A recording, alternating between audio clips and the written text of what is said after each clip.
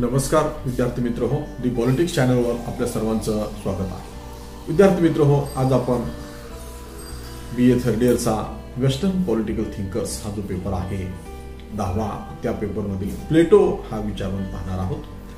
आजच्या वर्षी व्हिडिओमध्ये हा व्हिडिओ आपण केलेला आहे. आज आपण प्लेटोचा अल्प परिचय करून घेणार आहोत. या चॅनलवर नव्याने आला असेल चॅनलला सबस्क्राईब करून घ्या.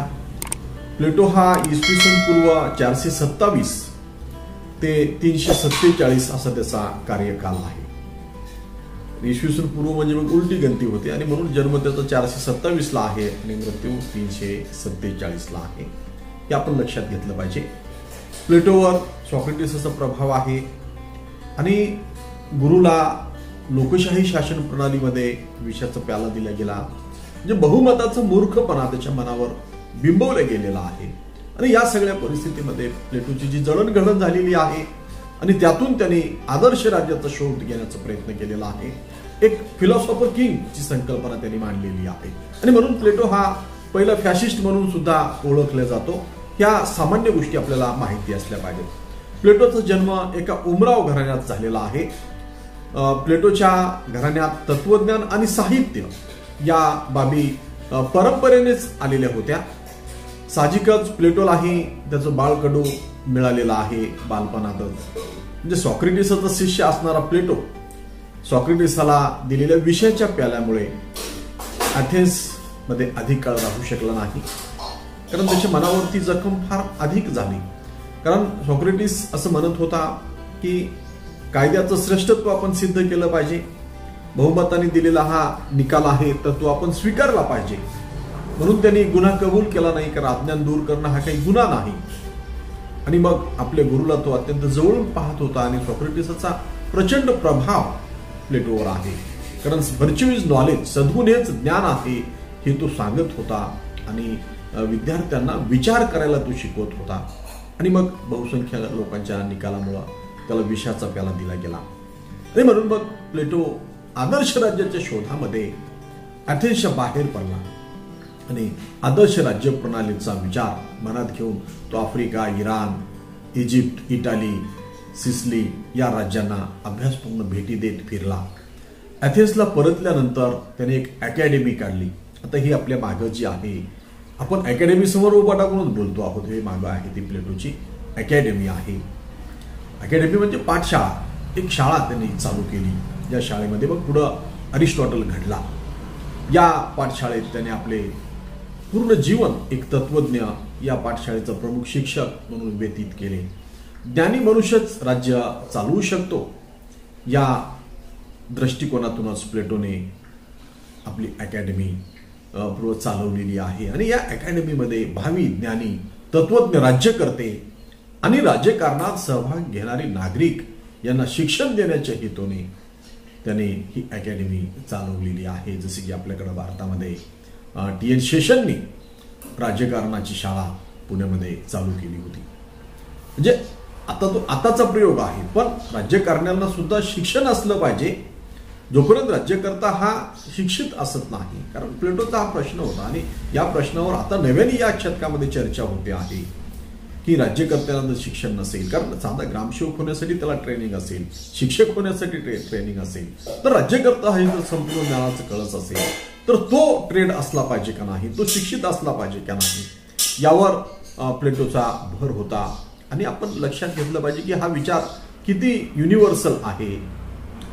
प्लेटोने जो विचार केलेला आहे तो कशा पद्धतीचा आहे?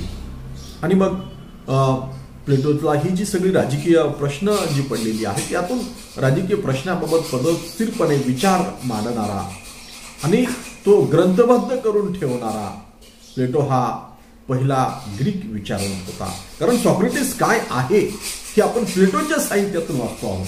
प्लेटोची ही सगळी ग्रंथरचना जी आहे सॉक्रेटिस आणि प्लेटो. प्लेटो हा प्रश्न विचारतो आणि सॉक्रेटिस उत्तर देतो. अशा संवाद शैलीमध्ये ती आलेली आहेत.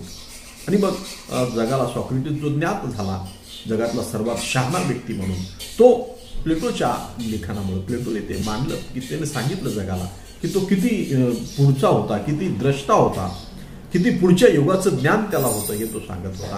आणि प्लेटोच्या तत् सॉक्रेटिसच्या तत्वज्ञानाचा प्रभाव प्लेटोच्या रोमारोमामध्ये आपल्याला जाणवतो.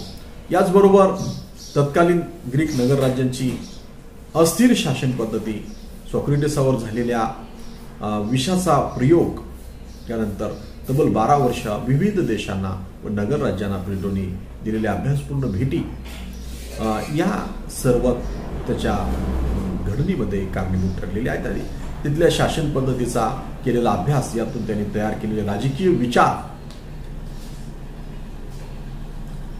डेमोक्रिटस पायथागोरस अशा ग्रीक तत्वज्ञाना तत्वज्ञांसोबत थेरेमिक्स पॉलिमार्कस ह्या सगळ्यांसोबत त्याचे झालेले विवाद तत्वे त्यांच्या तत्वज्ञानाचा प्रभाव व सर्वात महत्त्वाचे म्हणजे सेरेक्युमसचा तरुण राज्याचा सल्लागार असताना त्याला राज्याला आदर्श शासक बनविण्यात आलेल्या अडचणी लक्षात घेता. सेरेक्युमसच्या राजकुमाराला घडवण्यासाठी याची शिक्षक म्हणून अपॉइंटमेंट केली आणि त्यांनी पाहिलं की तो कशा पद्धतीने वर्तन करतो आणि ते घडवणं किती कठीण आहे. आणि मग त्यांनी आदर्शवादाकडून म्हणजे तात्विकतेपेक्षा वास्तविकतेवर भर देणाऱ्या विचाराची बैठक अशा सर्व गोष्टीचा परिणाम व प्रभाव प्लेटोच्या विचारावर होऊन त्याने लहान मोठे असे अडतीस ग्रंथ लिहिलेले आहेत. ही आपण पाहतो. यामध्ये मग काही महत्वाची ग्रंथ म्हणून जे आपण राज्यशास्त्रामध्ये अभ्यासतो ज्या ग्रंथाचा नामोल्लेख झाला पाहिजे राज्यशास्त्रात अभ्यासत असताना हे माहीत असलं पाहिजे त्यामध्ये आहेत द रिपब्लिक ज्याला रुसूनी शिक्षणशास्त्रातला सर्वोत्कृष्ट ग्रंथ असं म्हटलेलं आहे ज्यामध्ये प्लेटोने आदर्श राज्य मांडला. मग त्यानंतर त्यांनी दुसरं दी स्टेट्समन नावाचा ग्रंथ लिहिला. त्यामध्ये वास्तववादी मांडणी आहे. दी लॉज नावाचा ग्रंथ लिहिला. दी लॉजमध्ये त्यांनी जी मांडणी केली की कायद्याचं राज्य किती महत्वाचं आहे आणि आपण पुढे पाहतो की प्लेटोचं उपआदर्श राज्य हे अरिस्टॉटलचं आदर्श राज्य आहे. आणि मग अरिस्टॉटलने पुढे कायद्याचं महत्त्व स्पष्ट करण्यासाठी प्रयत्न केला. त्याची सुरुवातच प्लेटोच्या उप- दी लॉज या ग्रंथामधून झालेली आपल्याला दिसून येते. रिपब्लिक या ग्रंथामध्ये प्लेटोने आदर्श राज्य करते तसेच न्यायाची संकल्पना या विषयावर मांडणी केलेली आहे. दी स्टेट्समन या छोटेखानी संवाद पुस्तकात पिल्डोने राजकारण आणि नीती यांच्या परस्पर संबंधाचे विश्लेषण केलेले आहे. हा सुद्धा प्रश्न एमसीक्यू मध्ये असू शकतो की स्टेट्समन्स या ग्रंथामध्ये कशाचा संवाद आलेला आहे कशाचं विश्लेषण. तर राजकारण आणि नीतीचं विश्लेषण यामध्ये आलेलं आहे. रिपब्लिकमध्ये आदर्श राज्य तत्वज्ञ शासकाची संकल्पना त्यांनी मांडलेली आहे. आणि मग दी लॉज या ग्रंथामध्ये पूर्णपणे वास्तववादावर मांडणी झालेली आहे. तो वास्तववादावर आधारित असल्याचं आपल्याला दिसून येते राजकारण व राज्यकर्ते याबाबतचे वास्तववादी विश्लेषण या ग्रंथामध्ये आढळते. एकंदरीतच आदर्शवाद ते वास्तववाद हा प्रवास प्लेटोच्या राजकीय विचारात ग्रंथाद्वारे व्यक्त होताना आपल्याला दिसून येतो. आणि मग प्लेटोने पाहिलं की हे अं, सिरिया क्युमच्या तरुण राज्याचा सल्लागार असताना की त्याला घडवणं किती कठीण आहे? म्हणजे आपण समजतो तसं राज्यकर्ता घडत नसतो.